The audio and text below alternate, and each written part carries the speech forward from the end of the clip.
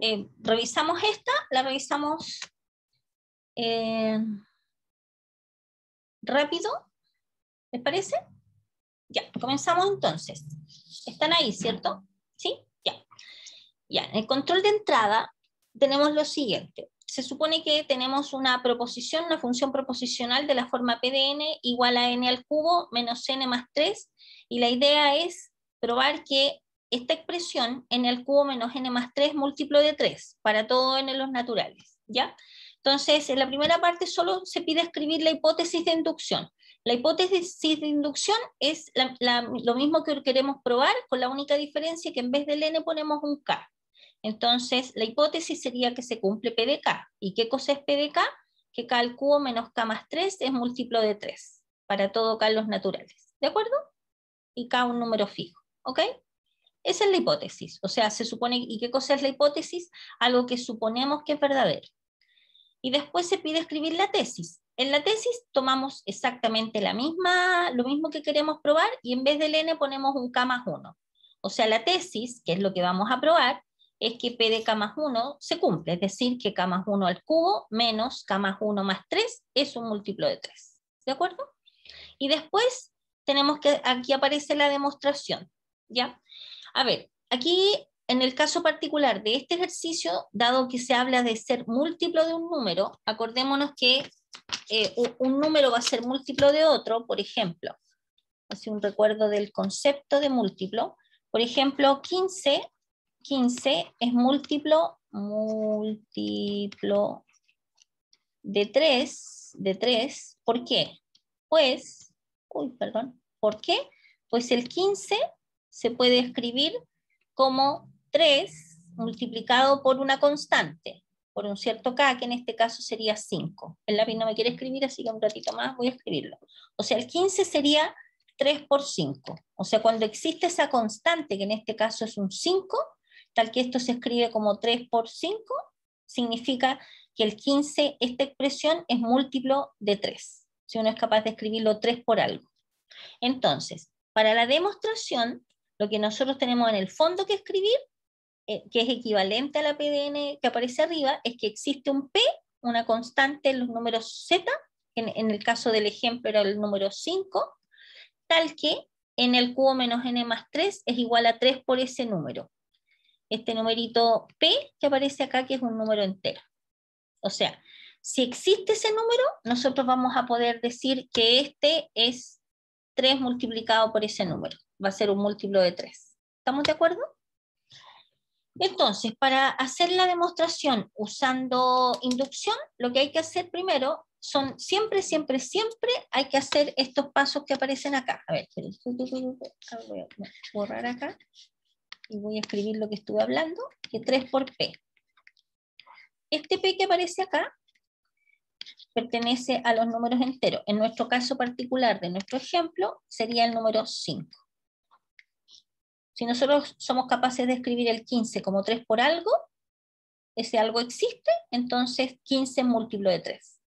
Es lo mismo, es lo mismo que estamos usando acá, ¿de acuerdo? O sea, si nosotros mostramos que existe ese P, entonces vamos a decir que efectivamente esta expresión es un múltiplo de 3. Entonces probamos para P de 1, es decir, reemplazamos en vez del n ponemos un 1 y nos queda 1 al cubo menos 1 más 3 igual a 3. ¿Y 3 es múltiplo de 3? Sí. ¿Por qué? Porque lo podemos escribir como 3 por 1. ¿De acuerdo? P de 2 es verdadero, por eso nos conviene revisar con los dos primeros elementos. En vez del n ponemos un 2. 2 al cubo menos 2 más 3, nos queda 9. ¿9 es múltiplo de 3? Sí, es 3 por 3. ¿De acuerdo? Y después escribimos la hipótesis de inducción, que en este caso sería que k al cubo menos k más 3 es múltiplo de 3. Y lo que es lo equivalente es decir que existe un p en z tal que k al cubo menos k más 3 es igual a 3 por sp. Esa es la hipótesis, o sea, sabemos que existe este P. Y la tesis exactamente lo mismo, que K más 1 al cubo menos K más 1 más 3 es múltiplo de 3. O sea, eso significa que existe un número Q, lo vamos a llamar Q porque aquí como lo, llamamos P, luego podría ser P cualquier letra, un número entero, tal que esta expresión, que es K más 1 al cubo menos K más 1 más 3, es 3 es 3 multiplicado por algo. ¿Ya? A ver, lo que aparece acá es el desarrollo de esta expresión. ¿ah? O sea, no, no es otra cosa más que el desarrollo de lo que aparece ahí. ¿De acuerdo? Esto. Esto que está acá, el desarrollo de este k más 1 al cubo menos k más 1 más 3. Entonces, ¿qué tenemos que hacer nosotros? Ser capaces de tomar esta expresión y escribirla como 3 por algo. Este algo es lo que nosotros andamos buscando. Ese, esa, Q. ¿De acuerdo? Entonces, ¿qué hacemos? En la demostración, nosotros partimos de, una de las partes de, del lado izquierdo de lo que queremos chequear si es que es múltiplo de 3 o no. Entonces, tomamos toda esta expresión que está acá. O sea, una manera es hacer eso y empezar a desarrollar y tratar de poner de alguna manera la hipótesis dentro. Y otra manera es, fíjense ustedes, tomar la hipótesis. Nosotros sabemos que esto es múltiplo de 3. Entonces, a ver, vamos a ver, fíjense acá, este, esta expresión, k al cubo más 3k cuadrado más 2k más 3. Esto, que está acá, lo vamos a escribir de alguna manera donde tengamos que utilizar eh, la hipótesis. O sea, usar este factor en alguna parte. Entonces, perdón, k al cubo más 3k cuadrado más 2k más 3. Fíjense que acá, en este término, fíjense, el objetivo es usar esto. Fíjense que k al cubo lo tenemos, ya, k al cubo, está ahí. Menos k. Aquí no aparece el k cuadrado, entonces, bueno, pero aquí aparecen 2k. Y el 2k, fíjense ustedes, ¿cómo lo podríamos escribir? ¿Cómo lo podríamos escribir? El 2k va a ser igual a 3K. Ah, voy a tener que ir a la pizarra. De nuevo no me está dejando escribir esto. siempre me, está boicoteando la clase en mi pizarra. Me voy a la pizarra. Ahí voy a tratar de seguir acá. Si me vuelve a traicionar, me voy a la pizarra. El K al cubo está ahí. Este lo vamos a dejar, lo vamos a escribir al final el 2, aquí hay 2K, pero nosotros queríamos escribir el 2K como algo que tenga menos K. Entonces sería 3K menos K, ¿no es cierto? Fíjense, esto, este, más 3, más 3, ¿sí? Y nos falta ese otro, más 3K cuadrado. ¿Ya? Esto que está escrito acá es exactamente lo mismo que está escrito acá. Y ahora, con esta expresión, fíjense que nosotros, esa expresión va a ser igual a k al cubo menos k más 3 más 3k cuadrado eh, más 3k. A ver, revisen. Esto que está acá, eh, ¿será igual a esto otro?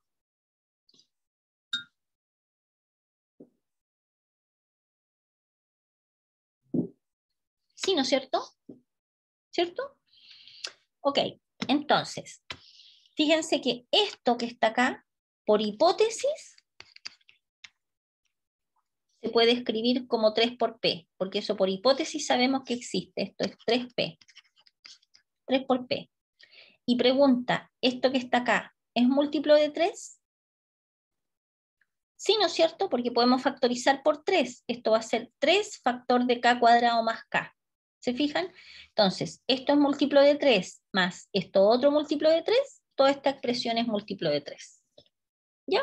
Por lo tanto, se cumple eh, para n igual a k más 1, luego se cumple para todo n.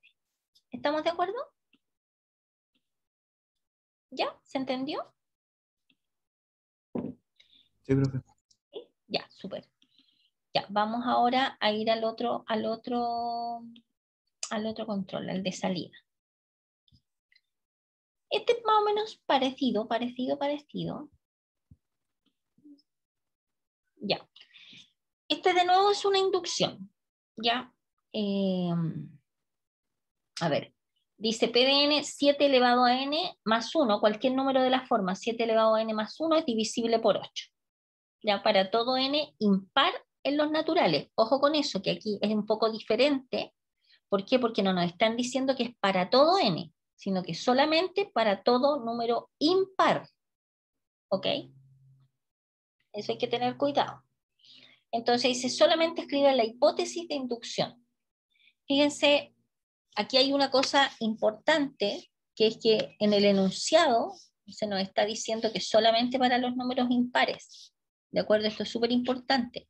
¿Cómo nosotros escribimos un número impar en general? Un número impar en general es de la forma 2 por algo más 1 o 2 por algo menos 1. Cualquier número impar siempre se puede representar de esta manera, donde el k es un número natural. ¿Ya? ¿Sí? Cualquier número impar.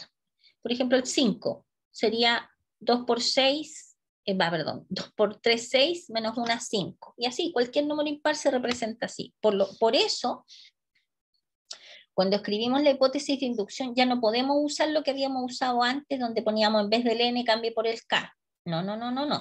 Porque ahora este n no es cualquier n, es un número impar. Por lo tanto, en vez de poner el n, tenemos que poner un 2k menos 1, que sería entonces, ¿qué significa esto? En vez del n ponemos 2k menos 1 más 1 y tenemos que probar que esto es divisible por 8. ¿De acuerdo?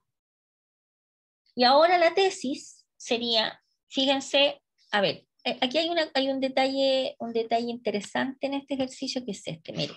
Por ejemplo, acuérdense que los números siempre se mueven un par, un impar, un par, un impar, un par, en la recta real, un impar, etcétera, etcétera. Si, por ejemplo, nosotros estamos considerando, eh, por ejemplo, el, impar, el, impar 2K menos 1 primero. Si este es 2K menos 1, si este número es 2K menos 1, ¿cuál sería este? Pensando que aquí hay una unidad entre cada uno. Sería el 2K menos 1 más 1, o sea, es 2K, y ahí aparece el par. ¿Cuál sería el siguiente impar? El 2K más 1. ¿Se fijan? Entonces, si nosotros por hipótesis, ¿se acuerdan ustedes que tomábamos, suponíamos verdadero para n igual a un cierto número? Y después en la tesis era ese número más uno, o sea, el siguiente de ese número. Pero ojo, el siguiente de este número impar que nosotros estamos considerando que es 2k menos 1, perdón, impar, hay que considerar el siguiente impar. Entonces, si este impar es 2k menos 1, el siguiente número impar es 2k más 1. ¿De acuerdo? Por eso se toma acá en la tesis el 2K más 1, que significa que 2 elevado, perdón, que 7 elevado a 2K más 1 más 1 es divisible por 8. ¿De acuerdo? Ya. Y ahora veamos la, la demostración. La demostración ojo, como, como acá nosotros estamos trabajando, vuelvo a insistir, solamente con los números impares, tenemos que pensar cuáles son los números naturales impares, está el 1, el 3, el 5, etc. Por lo tanto, el primer paso es verificarlo para los primeros dos números que están dentro del conjunto que estamos estudiando, ¿no es cierto? Que sería el 1 y el 3. Entonces, P de 1, uno dice 7 elevado a 1 más 1 es 8. ¿El 8 es divisible por 8? Sí, porque es 8 por e. Fíjense que el concepto de divisible y ser múltiplos son similares. ¿Ya? Esto es divisible por 8, claro, porque se puede escribir como 8 por 1. Después, en 3, en vez del n ponemos un 3. 7 al cubo más 1. 7 al cubo más 1 nos da 344. ¿Y eso se puede escribir como 8 por algo? Sí, 8 por 43, por lo tanto se cumple. Lista la primera parte. La hipótesis ya la habíamos escrito, ¿de acuerdo? Y la, tesis, eh, tenemos que encontrar ese valor de Q. Entonces, ¿qué hacemos? Tomamos, hay dos maneras de enfrentar este problema, partiendo de acá, de uno de los dos lados, y de alguna manera poniendo, agregando esto, o la otra forma, que es lo que vamos a hacer acá, es partiendo de la hipótesis y con, eh, de alguna manera eh, conseguir que este lado se convierta en este lado que está acá. ¿Ya? Entonces, fíjense ustedes, acá nosotros tenemos, nosotros tenemos el 7 elevado a 2k menos 1, pero nosotros quisiéramos tener 7 elevado a 2k más 1. Entonces tendríamos que multiplicar a ambos lados por algo que nos cambiara este menos 1 por conseguir un más 1. O sea, tendría que ser 7 al cuadrado. ¿Por qué? Porque nos queda, fíjense, 7 elevado a 2k menos 1 por 7 al cuadrado más 7 al cuadrado igual a 8p por 7 al cuadrado. ¿Estamos de acuerdo? Ahí me estoy criando y Y es lo que tenemos acá abajo. 7, y esto nos queda, acuérdense, multiplicación de potencia de igual base, conservamos la base y sumamos los exponentes, nos queda 7 elevado a 2 k más 1, eh, a ver, espérenme, eh, claro, nos queda 7 elevado a 2k más 1, más 49, que sería 7 al cuadrado, igual a 8p por 7 al cuadrado, ¿se fijan? Ahora, observemos lo siguiente, observemos lo siguiente, que nosotros, ¿qué queremos? Queremos obtener que aparezca este término, acá. Entonces uno dice, bueno, hagamos el siguiente arreglín. En vez de escribir el 49, vamos a escribir 1 más 48. Esto es 49, por supuesto, igual a, igual a 72 por 8p, lo que está acá arriba. Este 1 lo vamos a dejar porque ah, concéntrense en que nosotros queremos este término, así que tiramos el 48 para el otro lado, que es lo que está escrito acá. ¿Estamos de acuerdo? Listo, súper bien, porque acabamos de obtener lo que queríamos al lado, al lado izquierdo, que era 7 elevado a 2k más 1 más 1. Y esto que está al otro lado, ¿lo podemos factorizar por 8? Claro, y listo. Hemos obtenido que ese Q que andábamos buscando este término que está acá, que es 7 al cuadrado por p menos 6. ¿De acuerdo? Y es un número, es un número entero, así que acabamos de mostrar que este es 8 multiplicado por un algo. ¿De acuerdo? ¿Ya? Por lo tanto, p de k más 1 es eh, verdadero. ¿Ok? Y si demostramos que P de K más 1 es verdadero, se supone que se cumple para, la proposición se cumple para todo n impar. Y uno escribe al final simplemente el mismo enunciado original. ¿Estamos de acuerdo? Estimados. ¿Sí? No sé si están de acuerdo o no, o no están entendiendo.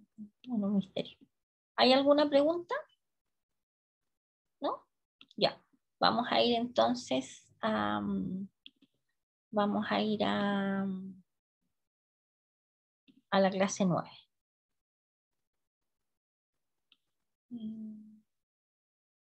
Ay, perdón.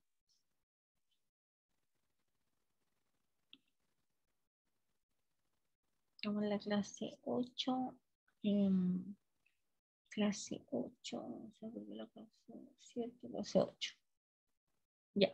Y ahora vamos a la clase 9. Después, le, ah, les recuerdo que tenemos la prueba el día, el, lunes 4 de octubre, ¿de acuerdo? Para que echen un vistazo y se, se recuerden, el 4 de octubre, ¿ya? Y entra de la clase 1 hasta la clase 10, o sea, entraría hasta lo que vamos a ver esta semana. ¿Ya? Ya. Eh, ahora, la clase número 9. Eh, lo, primero que se pide es escribir, ah, esta es de sumatorias. Solamente escribir la propiedad telescópica. La propiedad telescópica, bueno, hay que escribir el enunciado nomás, que nos dice que la sumatoria desde 1 hasta n de a sub i más 1 menos a sub i es lo mismo que a sub n más 1 menos a sub 1. ¿Ya? Y la generalizada esta es la, es la telescópica normal por cuando empieza en 1 y la generalizada es cuando empieza en un número cualquiera, en este caso un m cualquiera. La sumatoria es desde i más m hasta n de a sub i más 1 menos a sub i y esto va a ser igual a a sub n más 1 menos a sub m. ¿Ya? ¿Ok? Ya. Veamos el problema número 2. Dice, dado a sub 1, o sea, el primer término de una, de una sucesión, igual a e al cuadrado partido por 1, que en el fondo no es otra cosa más que e al cuadrado multiplicado por menos 1. Esto que está acá corresponde a la sub 1. Y el a sub 2 es e a la cuarta partido por 3 multiplicado por un medio. Y se nos da el a sub 3, que sería e a la 8 partido por 5 multiplicado por menos un cuarto. Entonces, se pide encontrar la fórmula general que, que genera el a sub 1, el a sub 2 y a la sub 3, ¿ya? Ah. Entonces, vamos observando. Esto se hace solo por inspección. ¿ah? Fíjense que cuando n vale 1 nos queda e al cuadrado. Cuando n vale 2 nos queda e elevado a la cuarta. y después cuando n vale 3 nos queda e elevado a 8. Fíjense que hay que visualizar primero cómo generamos en función de, una, de, un, de un n el 2, el 4 y el 8. Entonces uno dice, bueno, esos son los exponentes de la e. ¿Cómo generamos el 2, el 4 y el 8? Entonces uno dice, bueno, e, es, 2 al cuadrado, 2 a la 1 es 2, 2 al cuadrado es 4, 2 al cubo es 8. Ah, listo, entonces 2 elevado a n. Y de ahí nace este exponente 2 elevado a n. ¿De acuerdo? En el e. Después fíjense acá abajo, el 1, el 3 y el 5. Ah, súper bien, el 1, el 3 y el 5 son números impares, por lo tanto, nosotros sabemos que los números impares son de la forma 2 por algo menos 1, así que 2n menos 1. ¿Ya? Y tenemos, listo este término. Ahora, tenemos que visualizar el otro término, el otro factor. Tenemos menos 1, un medio, menos un cuarto. Primero, fíjense que cada vez que aparezcan negativos, positivos, negativo, positivo o positivo, negativo, o sea, se vayan alternando más, menos, más, menos, siempre aparece en el baile, digamos, en la fórmula un menos 1 elevado a n. ¿Ya? Que es lo que está acá. ¿De acuerdo? Cuando n vale 1, ¿nos queda menos 1? Sí. Cuando n vale, nos queda negativo. Cuando n vale 2, nos, va a dar algo positivo, así que no hay problema. Cuando n vale 3, nos va a dar de nuevo algo negativo. Listo. Ahora tenemos que generar este, el un medio y el menos un cuarto. Ah, entonces son potencias de un medio, ¿no es cierto? Un medio elevado a cuánto. A ver, cuando n vale 1, fíjense que aquí no aparece el un medio, por lo tanto no puede ser un medio elevado a n. Entonces cuando n vale 1, nos queda 1 menos 1, 0. Ah, fantástico, porque así aquí no aparece el n. Cuando n vale 2, porque estamos pensando ahí, va a ser un medio elevado a 2 menos 1, que nos da 1. ¿De acuerdo? Y así cuando n vale 3, nos queda un medio elevado a 3 menos 1, que es 2, que sería el 1 cuarto, el 1 cuarto, con este menos que nos quedó acá, y nos quedó menos 1 cuarto. Y esto que está acá es la fórmula general que genera todos estos tres elementos de la sucesión. ¿Estamos de acuerdo? Voy muy rápido. Ahora, en la 2.2 se dice escribir la productoria de los n primeros términos de esto que está acá. Aquí simplemente hay que, dice la productoria, hay que llevar anotación. Es súper sencillo, dice la productoria de los primeros, para los n primeros términos. Entonces él va a hacer la productoria desde igual a 1 hasta n, porque son n términos, y ponemos la fórmula nomás. Aquí sobre un, falta un paréntesis. Sí, se puso un paréntesis. O sea, no, este paréntesis que está acá no es necesario ponerlo, porque es la productoria de toda esta expresión. Y eso es todo. ¿Estamos de acuerdo? ¿Preguntas? ¿No? Están como silenciosos hoy día, no sé si es porque están cansados de tanto descansar la semana pasada, quizás. Medio frío, sí me voy a poner algo, tengo la ventana abierta. Un minuto.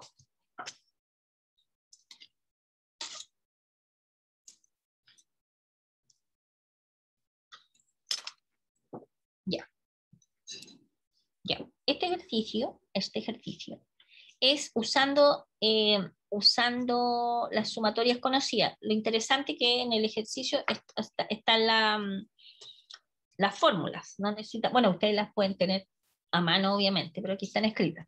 Dice la sumatoria desde 1 hasta n de i va a ser igual a n por n más 1 partido por 2. Esta es una fórmula. La sumatoria desde 1 hasta n de los i al cuadrado, esta es la fórmula. Y la sumatoria de 1 a n de los i al cubo, esta es la fórmula. ¿Ya? Entonces, calcular y simplificar usando lo anterior eh, no se hace otro problema. Ya. Esta sumatoria es bien interesante. ¿Por qué? Porque es una sumatoria doble donde aparecen términos que dependen de la variable i. Fíjense, la voy a poner con rojo. La variable i. La variable i. I, I se fijan, esta sumatoria depende de la variable i. Y la que está afuera depende de la variable x. ¿De acuerdo? x. x la X está ahí y la X está acá. ¿Ya? Entonces, ¿cómo se hace esto? Esto, por definición, cada vez que uno tiene una sumatoria doble, la sumatoria que está afuera queda afuera. Entonces, se aplica primero la sumatoria que está adentro. o sea, vamos a aplicarla a esta. ¿De acuerdo? Entonces, como la variable que está adentro, después nos vamos a preocupar de la sumatoria que está más afuera. Como la variable que está adentro es y, todo lo que tenga y es variable y todo lo que tenga x es constante. Estamos pensando solamente en esta sumatoria. Entonces, ¿qué hacemos? Vamos a desarrollar el argumento de la sumatoria de adentro. Insisto, nos concentramos solo en la sumatoria de adentro. Entonces desarrollamos para binomio, nos queda esto que está acá, ¿no es cierto? ¿Ya? Cuadra binomio, eso. Y después, fíjense eh, en, esto que está acá, eh, a ver cómo, voy a enrollar un poquito arriba en realidad. Esto que está acá es lo mismo que la sumatoria, sumatoria, ah. me voy a la pizarra porque si no voy a estar pasando rabia todo el rato que no puedo escribir, así que me voy a la pizarra.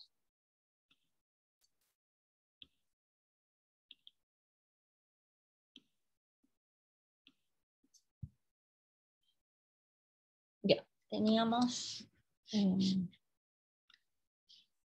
ya tenemos la sumatoria, sumatoria de, x igual a 1 hasta 6 de la sumatoria desde i igual a 1 hasta k, desde i igual a 1 hasta k, de dx multiplicado por 4x cuadrado menos 4xy más y cuadrado. Ahí está. ¿Ya? Y esto que está acá en la sumatoria, desde x igual a 1 hasta 6, de la sumatoria desde i igual desde 1 hasta acá, y ahí multiplicamos 4x al cubo menos 4x cuadrado y más x y cuadrado. ¿De acuerdo?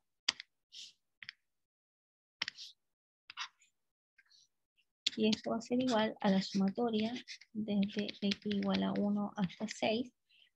Fíjense, bueno, aquí la sumatoria, insisto, estamos solo preocupándonos de la sumatoria adentro. La sumatoria de una suma de una resta, la suma de la resta la sumatoria.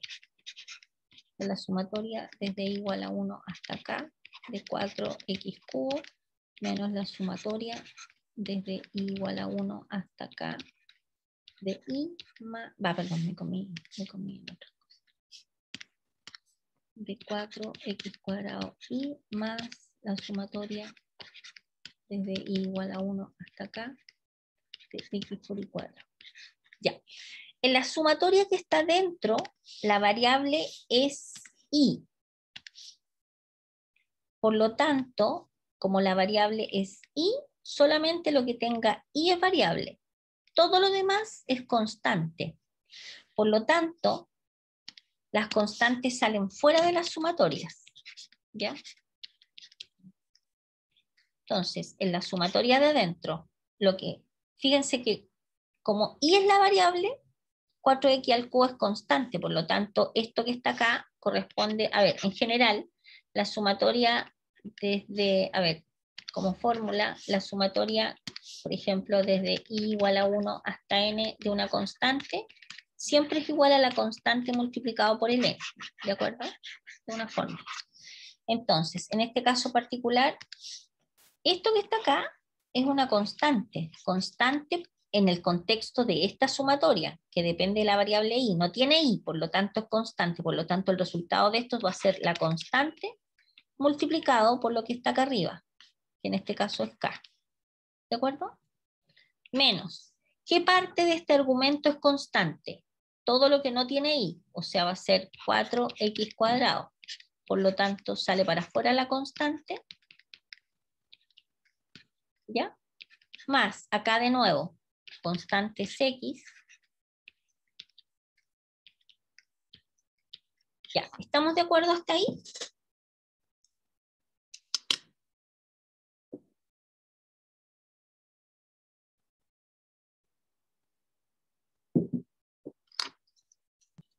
¿Ya?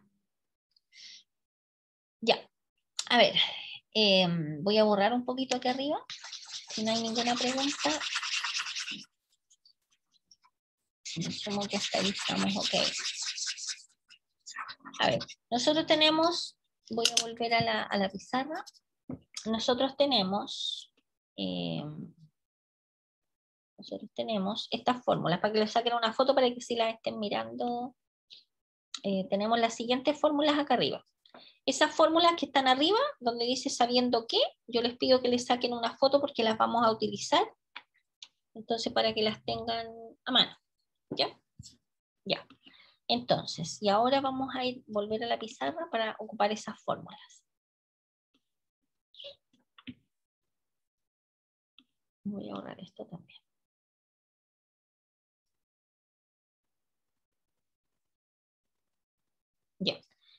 Ahora, nosotros vamos a aplicar las fórmulas que les, que les mostré recién. ¿Ya? Entonces, fíjense que nosotros tenemos acá, va a ser igual a la sumatoria desde x igual a 1 hasta 6 de. Aquí no hay ninguna fórmula que aplicar porque se fue la constante, entonces nos queda 4kx, lo podemos ordenar así que se vea más bonito nomás.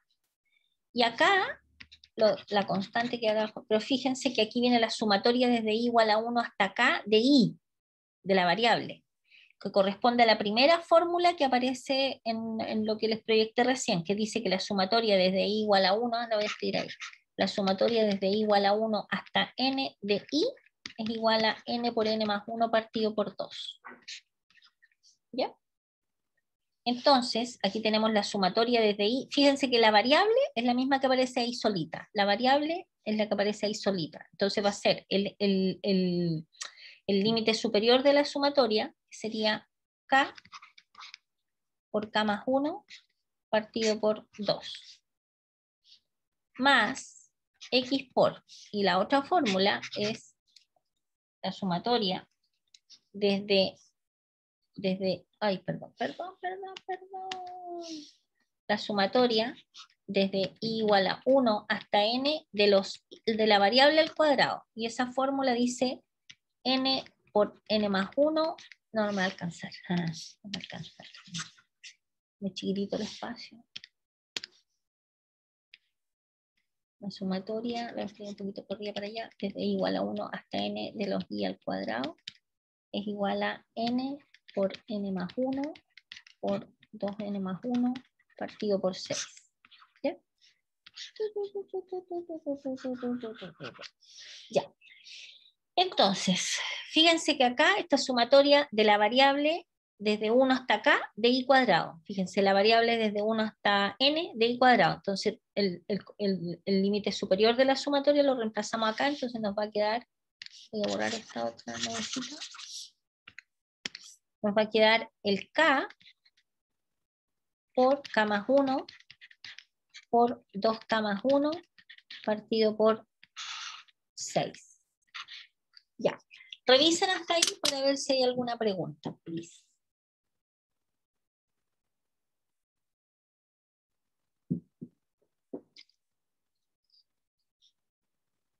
Ya. No hay preguntas, parece. Entonces, vamos a ordenar un poquito esto, va a ser la sumatoria desde x igual a 1 hasta 6 de 4k por x al cubo menos, vamos a ordenar esto, nos va a quedar 4k por k más 1 partido por 2 por x al cuadrado más,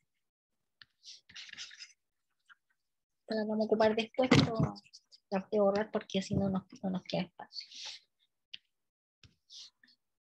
más K por más 1 por 2K más 1 partido por 6 y esto multiplicado por ¿Cuál es la variable ahora? Ahora vamos a aplicar esta sumatoria. La variable es X. Por lo tanto, todo lo que no tenga X es constante. ¿De acuerdo? Entonces ahora, ¿qué hacemos? Ahora, de nuevo, aplicamos que la sumatoria de una suma o de una resta es la suma la resta las sumatorias y todo lo que no sea x es constante. Por lo tanto, nos va a quedar 4k. Uy, perdón, estoy escribiendo con este mismo color.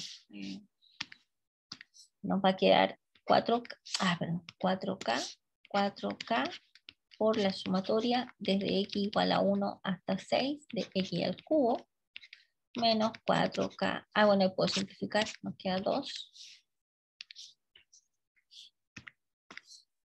2K por K más 1, K más 1 por la sumatoria desde x igual a 1 hasta 6 de x al cuadrado más k por k más 1 por 2k más 1 partido por 6 por la sumatoria desde x igual a 1 hasta 6 de x. ¿Ya? ¿Estamos de acuerdo? Bien. Y ahora simplemente acá, en esta usamos fórmula, en esta usamos fórmula y en esta usamos fórmula. ¿Ya? Ya, vamos a irnos al apunte. Y acá vamos a ver cómo termina el ejercicio, simplemente reemplazando la fórmula. Estamos nosotros acá. a lo mejor no se va a ver, no se va a ver. Eh, no, voy a cambiar de opinión. Mejor vámonos al, volvamos a la pizarra lo terminamos. Ah, lo vamos a dejar escrito numéricamente y después el cálculo viene, lo hacen ustedes con la calculadora, ¿ya? Ya, vamos a dejar escrito. Entonces, nos va a quedar 4K multiplicado por. Este numerito que está acá, se hace con la tercera fórmula que aparece en el formulario, que dice que esto es igual al n, que en este caso es 6, por 6 más 1, partido por 2, y todo esto elevado a 3, menos 2k por k más 1, por, y la fórmula dice n, que es 6, por n más 1, por 2n más 1, que sería 2 por 6, 12 más 1, que es 13, partido por 6, más k por k más 1, por 2k más 1, partido por 6, y multiplicado por él, y la, y la otra fórmula sería el n por el n más 1, que es 7, partido por 2. ¿De acuerdo? Y ahora les queda a ustedes de tarea, digamos, revisar eh, con calculadora eh, chequear que estos numeritos corresponden a los numeritos que aparecen acá. Ya les va a dar lo mismo. Y si uno hace las multiplicaciones, los desarrollos, etcétera, llegan a esta expresión que está acá. ¿De acuerdo? ¿Ya? disculpe, disculpe. ¿Sí? Eh, usted, nos mandó una, una, imagen con la fórmula de la sumatoria, ¿Sí? en la que salía eh, i elevado a 3, ¿cierto? Sí. Pero en, esa me sale que es n por n más 1 partido en 2 elevado a 2, no a 3. ¿Es a 3 o a 2? Es a 2. ¿Es a 2? ¿A 2? Ya, ok. Ok, ok. Es a 2. ¿Ya? ¿Ya? Y eso sería estimados. Preguntas, acuérdense que nos queda una clase más y en esa clase es la última que entraría en la prueba del 4 de octubre. ¿Ya? Para que vayan cubriendo y avanzando. ¿Estamos? ¿Sí? preguntas, consultas. ¿No?